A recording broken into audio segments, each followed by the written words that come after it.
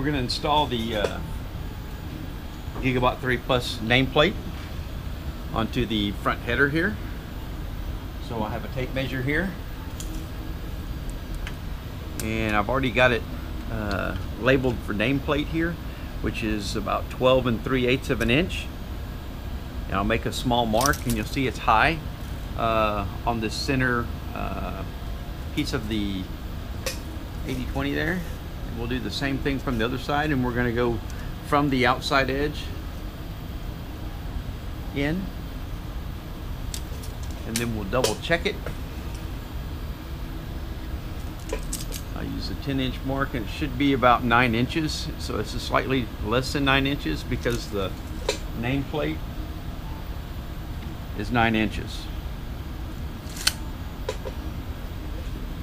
So then we're, we're going to take some M3 by 8 uh, button heads and a, a M3 washer, flat washer. Put these together. So we have four of them. We'll get the, uh, I do believe it's a two millimeter uh, Allen key. And I'll put one of them on here. And right now you just want to get the uh, screws started. So you get all of them into the, uh, the three millimeter uh, T-nuts.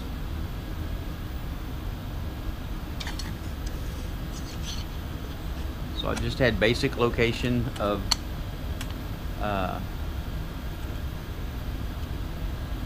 the T-nuts there.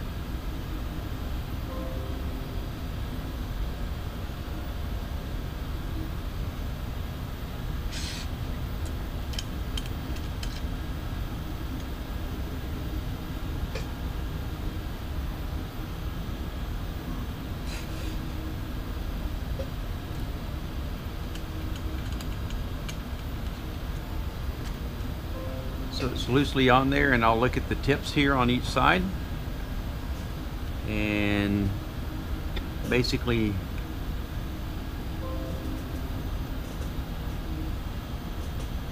line it up.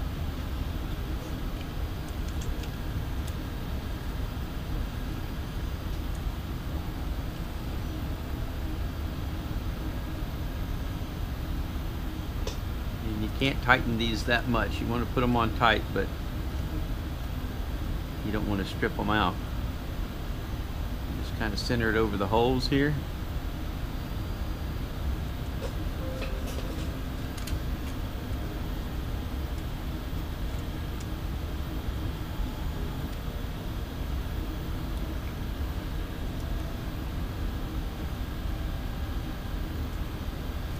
And last one.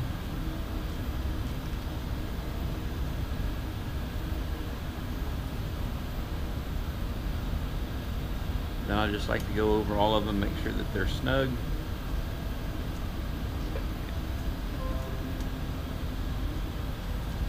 And they are. And then the last thing that we do is I'll get an eraser. And I'll erase my marks.